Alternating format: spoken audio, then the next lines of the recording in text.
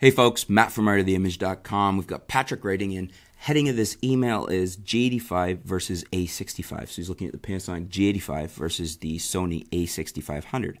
Uh, so he says, Hey Matt, I'm going to be purchasing a 4K capable camera sometime within the next two months.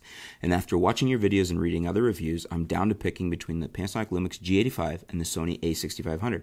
This will be my first 4K camera, which is why I've picked these two. I also like the fact these cameras have some sort of weather sealing, which is why I picked them over the A. Uh, 6300, Fuji X-T20, and Canon M50. But I can live without the weather sealing. Both these cameras accommodate for most of the things I'm looking for. The only difference being the ergonomics. I will be using the camera for travel, film, and photography. And as for lenses, I will only be using the kit lens until I feel the need for a new lens, which won't be for a while. I was just wondering what your opinion is and what camera you think is best, or if you have any other cameras you would recommend. Thanks for your help. Keep up the great work. From Pat. Thanks for your question, Pat. Um, between those two, I will go with the G85. I do a lot of video work, and I like the G85 much better. I like the full out var- vari-angle LCD.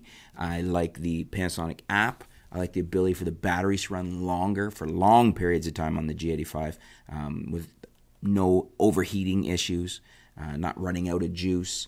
Um, so for video, for me, big, big advantage to the G85. Now, that said, if I was doing a lot of vlogging style where I'm holding it in my hand and shooting it, Sony's a little smaller and lighter, and it does have better follow focus, more like the Canon Dual Pixel AF. So if that's your style of shooting, if you want to do a lot of vlogging type thing where you need that Canon Dual Pixel AF style focus, then maybe you should look more at the A6500. I also don't like the Sonys as much because I don't like their lens lineup. I think you have to spend a lot of money to get into decent lenses. That is not the case with Nikon, Canon, or Panasonic. And again, advantages to those companies over the Sonys.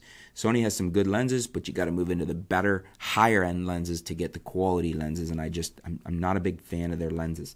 Um, so, G85 over the 6500 for me with the caveat that if you're doing a lot of vlogging, then perhaps that flips back to the 6500.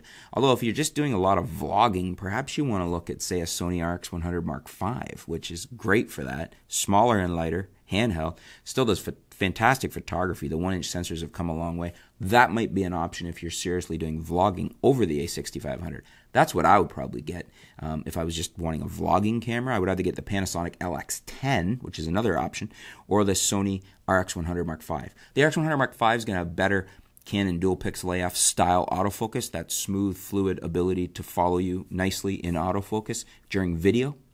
Uh, but the LX10 is also very good, not quite as good for that that specific area, the dual pixel AF style autofocus. However, on, it still does a pretty good job, but it's also much less expensive, and for everything else, it's it's on par with the RX 100 Mark V, and it's just probably almost half the price. Now, um, the the elephant in the room here is the M50 because I really like the M50, and I would I think maybe you should look at that depending on what you're doing um, I mean, the M50 gives you 4K, albeit with a fairly heavy crop and not being able to use the dual pixel AF. However, if you drop down to 1080, if you want to vlog, you got the Canon dual pixel AF, the the the Kleenex of of the system. I mean, they coined that term. It's their branded name, and they're the ones that um, developed that system, and you know that was their claim to fame. Nobody touched it for quite a long time.